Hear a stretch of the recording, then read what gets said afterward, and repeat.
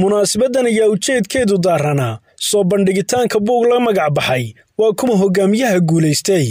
Buuggaasi oo uu qoray mid ka mid a ciidanka ilaalada xeebaha somalilan sidoo kalena ka mid a ardayda dhigta dugsiyada sare ee dalka gaar ahaana dugsiga alhuuda waxaa munaasabadda soo bandhigitaanka buuggaasi ka soo qayb galay xildhibaan raambo oo ka mid a xildhibaanada aqalka golaha wakiilada saraakiil sarsare oo ka tirsan ciidanka ilaalada xeebaha dalka. Maamulka iyo macallimiinta dugsiga alhuuda oo qoraaga buuggani uu dhigto. Munaasabaddan ayaa waxaa sidoo kale ka soo xaadiray xubno ka mid a bulshada qaybaheeda kala duwan. Ugu horrayn waxaa halkaasi ka hadlay qoraaga buugga khadar farxaan siciid oo ka warramay nuxurka ku duugan buuggani uu qoray iyo ujeedka ka dambaysay inuu buuggaasi qoro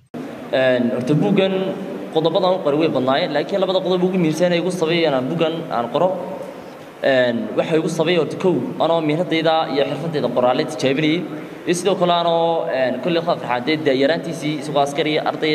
laydha dee qoraano u ahaa. In taarikh igu filan taasina waa mid aan is leeyahay inkastoo rag badan oo iga wanaagsan jiraan. Haddana waa mid aan is leeyahay kolley waa waad kaga wanaagsan kartaa in badan dhagaa ka mid ah. Marka labada qodob ugu muhiimsan kow anoo mihnadayda qoraale tijaabinayay يقول بس دو كلا آه، أنا مستقبل كي يضم بإن شاء الله بالله كريم كوك رحني والله بدأ قضي بقول ميمسن كلي أريته آه، قامي تونو وارين بدنا آه، تتكو سفوي كل سنة وادي سنة laakiin maadaama hogaamintu fara badan tahay oo hogaamintu keliya maaha ummadda la horgale kolley faamiligu waa hogaamin waxbarashadu waa hogaamin ganacsigu waa hogaamin ummadda la horgala oo la hogaamiya iyagana la horgalaana waa hogaamin marka labada qodob ugu muhiimsan waxa weeye kow anoo mihnadeeda iyo xirfadeeda qoraale tijaabinaya iyo weliba sidoo kale anoo taarikhdeeda dambana insha allah bilaakiin ku qurxinaya labada qodob ugu muhiimsan waxyaabaha igu sameeya igu kaskariyana buga qoran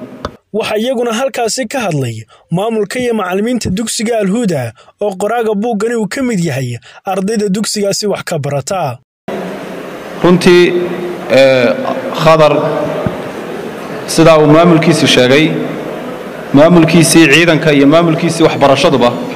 sidaa ay sheegeen runtii isaga ayaa hogaamiyaa maanta. Waana qof runtii mudan inaynu ku wada dayno dhammaanteen khadar sidaa la tilmaamay waa nin aqoon leh waa nin akhlaaq leh waa nin aqoonta maadigoo keliya aan ka dhisnayn. Sida halkan laga sheegay laakiin aqoonta sharcigana ka dhisan. Waa qaari qur'aanka ilaahi subxaana wa tacaalaana ku wanaagsan waxaan is leeyahay haddii ciidankeenna